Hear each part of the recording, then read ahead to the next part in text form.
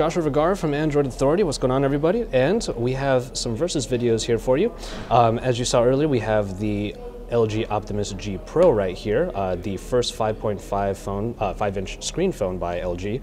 And over here we have the Oppo Find 5. Now, um, it's uh, no secret that we are fans of the Oppo Find 5. It's 5 inch screen, 1080p display, and the incredible specs that are underneath. However, LG is really coming out of the gate by having a phone with an even larger screen. So we're going to take a look at a few of the aspects here. You're seeing the UI, and both screens, as you can see, are very vibrant, very crisp. Um, the Oppo comes in at a whopping 440 um, pp PPI, while the LG Optimus G Pro has 400 in its very large 5.5 inch screen. Uh, let's go ahead, let's head on over to the back. Obviously, these are both the white versions of the phones, and they both look really nice. Um, over here, you have the crystal reflection display on the back of the LG Optimus G Pro.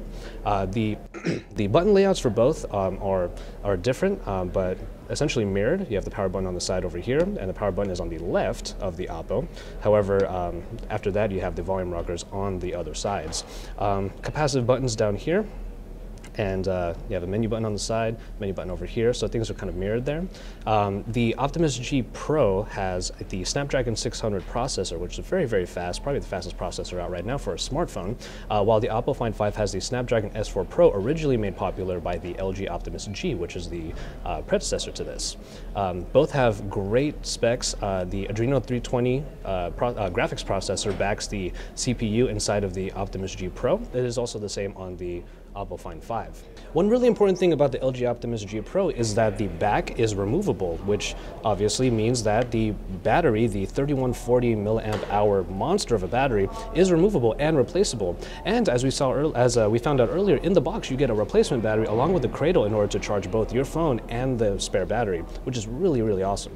Uh, also underneath you have the micro SIM slot along with the micro SD slot, so you have expandable memory and a replaceable battery, two features that a lot of people look for in their phones. The Oppo unfortunately does not have either. In the Oppo Find 5, however, you have 16 gigabytes of internal memory and 2 gigabytes of RAM, 2 gigabytes of RAM in the LG Optimus G Pro, but the Oppo does not have anything removable. It is a unibody design that does not allow for any expandability.